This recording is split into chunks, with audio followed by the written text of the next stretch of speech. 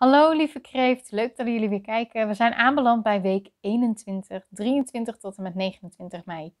Het is een algemene video of een algemene reading. Het kan dus zijn dat je niet alles kan plaatsen. Haal er vooral uit wat je nodig hebt. En laten we nu eens gaan kijken naar jouw hoofdthema voor deze week. Wat is jouw hoofdthema voor deze week, lieve kreeft? Het voelt alsof je wel wat meer tot rust komt, maar er toch ook nog wat ja, wat chaos is.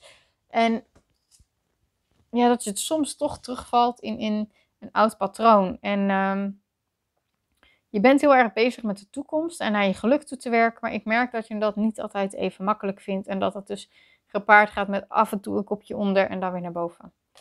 We gaan eens even kijken, lieve kreeft, wat je verder deze week kan verwachten. Wat kan de kreeft deze week verder verwachten? Moet die hebben? Ja.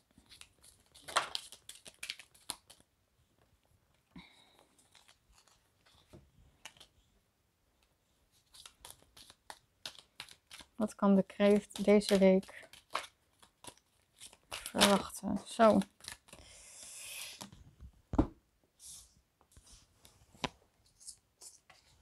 Oké.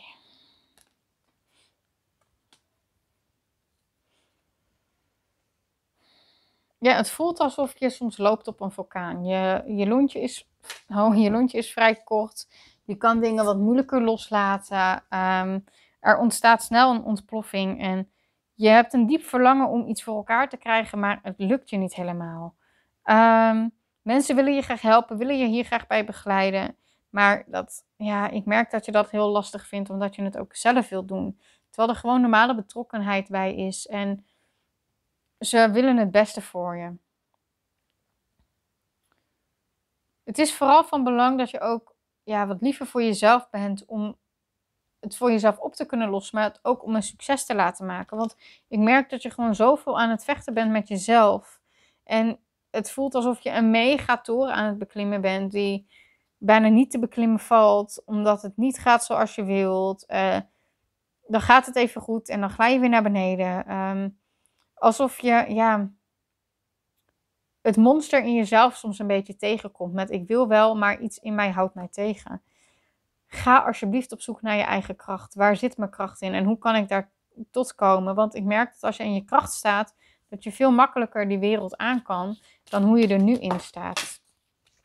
En weet ook dat er wonderen kunnen gebeuren. Dus kijk vooral naar wat er goed gaat en zet positieve dingen neer. Want ik merk dat als we negatieve blijven hangen, dan ik zie het maar als een steentje in het water gooien. Het, het wordt steeds groter. En zo werkt dat ook op dit moment met hoe jij in je vel zit.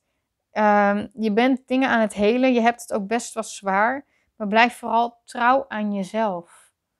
Um, en probeer dingen op te lossen voor jezelf. Uh, in plaats van boosheid en frustratie, uh, dat mag er zeker uit. Maar ik merk dat het belangrijk is om wat meer liefde naar jezelf toe te sturen. We gaan eens kijken, lieve kreeft, naar een positieve boodschap voor jou. Laat dingen los. Je weet wat je wilt. Je weet ook wat je wilt bereiken en hoe. Um, maar het is vooral van belang om de touwtjes daarin wat meer strakker te houden op een of andere manier. En afleiding te gaan zoeken. Um, ik merk dat je soms in een spiraal belandt en het is belangrijk om uit het spiraaltje te komen. Lieve kreeft, ik hoop dat je hier wat aan hebt gehad. Heb je nou behoefte aan creativiteit uh, in het gebied van je intuïtie? Ik zou vooral zeggen, neem een kijkje op mijn Facebook. Daar staat uh, een workshop gepland voor 1 juni. Gaan we mooie bijenwastekeningen maken en vanuit daar gaan we ze leren lezen. Uh, verder kan je me dus volgen op Facebook en Instagram. En uh, wil je een één op één reading, neem een kijkje op. Lieve kreeft, ik wil je heel erg bedanken voor het kijken en uh, wie weet tot de volgende keer.